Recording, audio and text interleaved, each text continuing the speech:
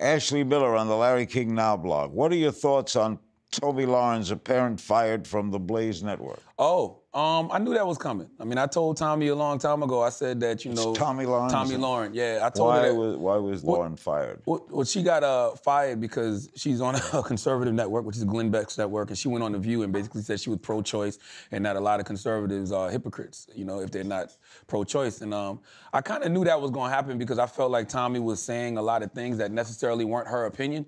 So she was just saying things because she was getting such a great reaction from them. And I always say that people who that, do that eventually crash and burn. Ashley Miller also asked, are you actually friends with her? And would you like to co-host the show with her? Nah, I wouldn't co-host the show with her. And I mean, friends is a strong word. Like, you know, we're we're we're associates in the media game. Like, she's somebody that I had a conversation with because I saw the influence she was having, and then she's she's really young. So the influence she was having, she was spreading a lot of dangerous rhetoric ab- ab- about black people in general. And you know, I just wanted to have a conversation with her to let her know why her rhetoric is so dangerous. And maybe if you've never had communication with a black person, you need to, so you can dispel some of those false narratives that you're you're putting out there.